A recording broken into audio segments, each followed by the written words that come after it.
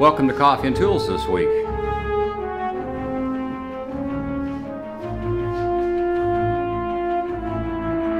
So I have 24 of these uh, coffee cans that have different things in them and I found this little shelf at Goodwill for a couple dollars but it's going to have to be modified or something because right now it only hold uh, 3, 6, 9, it only held 12 and I need to hold 24 but I bought this because I noticed it has doweling and doweling sometimes can be pretty easy to extend but we're going to do this a little bit different out of the box but we're gonna extend it and make it hold 24 of these crazy coffee cans.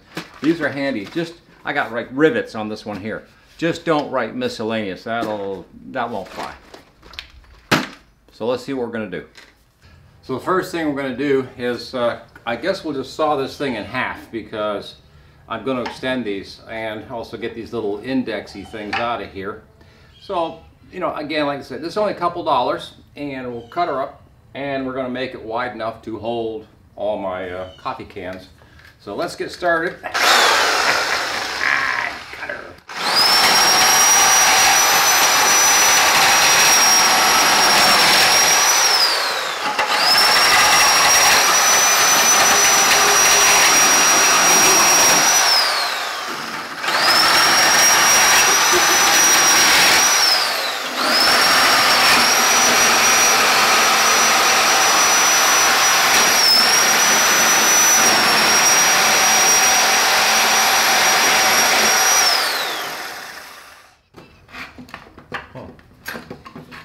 Now, okay, so huh, now Two pieces.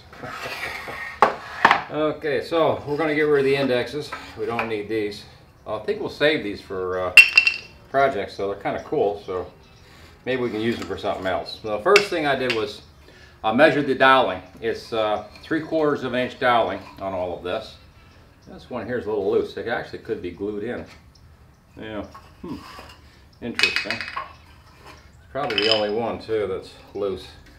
So all the doweling is tight except that one piece. So we'll just throw a little glue on there while we're in all into all this. And so now I've got two pieces. Cool. And three quarter inch ID. Oh, there's another loose one right. Yep, same thing right there. Yeah. Uh, rather than buying doweling, because look at all the pieces of doweling you'd need to make a wider uh, unit, I'm thinking just slide pipe over these that's wider and that will give me the size I need, which in this case will be eight, uh, let's see, it was 18 inches for three cans, so 36 inches should give me six cans uh, per shelf. So we're gonna cut the pipe for this after I put some glue on these two pieces of doweling here.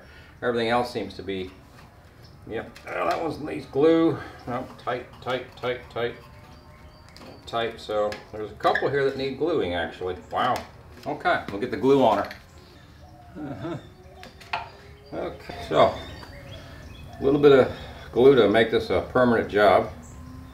Yeah, on the back side and just kind of wet it down with some glue and stuff her back in the hole.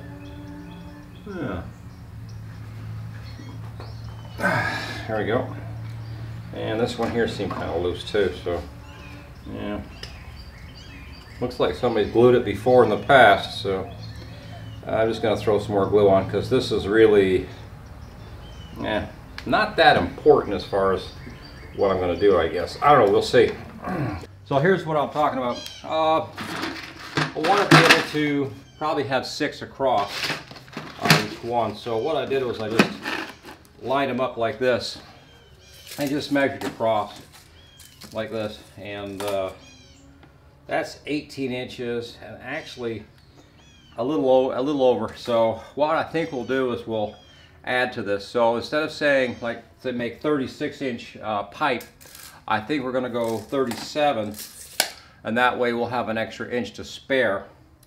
And because I need uh, three per shelf uh, one 10 foot piece of pipe cut up with, let's say 37 inches will leave very little scrap, but it'll give me the pipe to extend across, and you'll see what, uh, we'll, well, we'll see how that turns out. But uh, yeah, the 30, the 18 is, uh, yeah, a little tight, so 37 should get it. We could even go up to 38, I believe. But uh, let's go 37. So, so what I did was I ran over to the big box store and bought some three quarter inch electrical conduit pipes, about three bucks a stick or whatever. I got uh, four sticks, which will give me uh, actually one stick per shelf is basically what I'm looking at.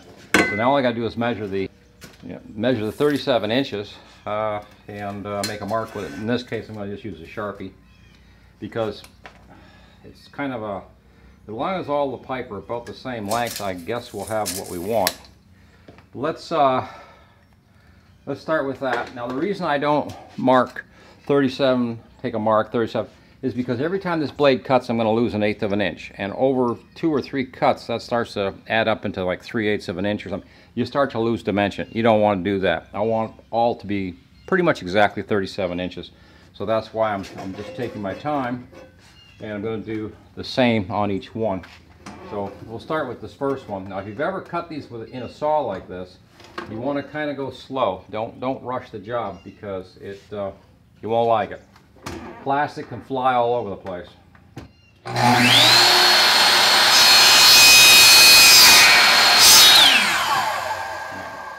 Now that saw could go through that a lot faster than that, but I'm, I'm just not going to do it. Okay, so yeah, there we go. So there's our 37. Oh, we've cut the pipe, the first length of it, 37 inches. And now I'll just use this as a reference for the rest of my cuts because like I said, this takes an eighth of an inch. So if you measure to an accurate degree off of an old, you know, before you actually cut, you can end up wrong. You, will just, you'll have it wrong. So this way, it won't have it wrong. It'll just be the same as the other pipe.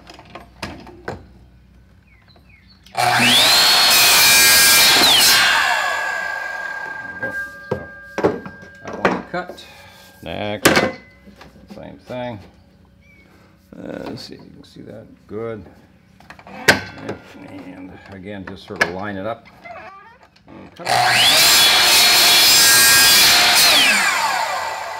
And, we'll even keep this because uh, down the road I might use it for, you know, you don't know what you'll need it for. I'm sure it'll be handy for something. But there's there's the first new shelf. And all we got to do that is just do that four times and we got it. yeah, four times. Okay, so there we go. We've got uh, all our pipe cut up to 37 inch long, three quarter inch ID. It's an electrical conduit, of course, from uh, one of the big box stores. And let's, let's see how all this uh, comes together. I think we'll probably have to glue the ends on these, but we'll have to see. Uh, a little bit of glue on there will probably, you know, lock it up kind of thing. Let's find out. Actually, what I'm going to do is lay it down this way and see if we can start these three quarter pieces of pipe over.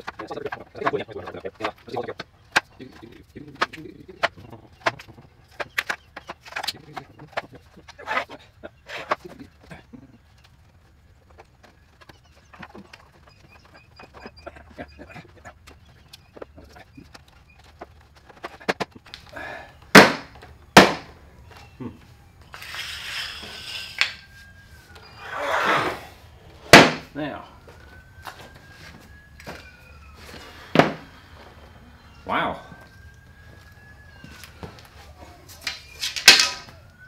This is uh, this is like Elon Musk's uh, Starship. You know, you, don't know. I don't know if it'll work, but it actually it's very stiff, very solid, and I think that works without any any more glue.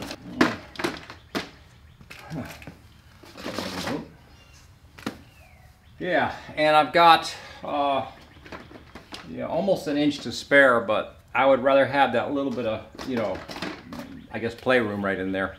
In case Maxwell House ever changes the size of their coffee cans.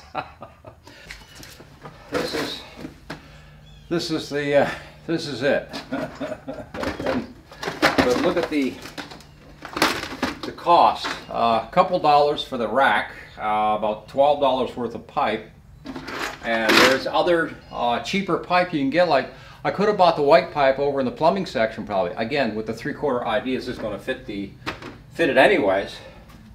So let's see how we do. And she seems to be uh, quite stiff, so she's not having any trouble holding the weight. I'll be able to get all my jars of stuff up. This is what they call an old DVD or CD uh, shelf player or unit. So they, you can pick them up at yard sales for a couple bucks. Um, I've seen them, this one here specifically came from Goodwill actually. But you can get them uh, just all over the place. And if you think about it, there's a lot of uh, a lot of tools and a lot of places you can go to where you can pick this sort of thing up and you know people are basically just throwing them away because what's the point of having them you know now I've got to find I guess two more two more jars and she's a full she's full but how simple is that that's and that gives me all that extra cleans up my space in my shop so now I actually have two cupboards open where I can store larger things than this, such as my router. I've got an extra commercial router, stuff like that. I can put all that in there.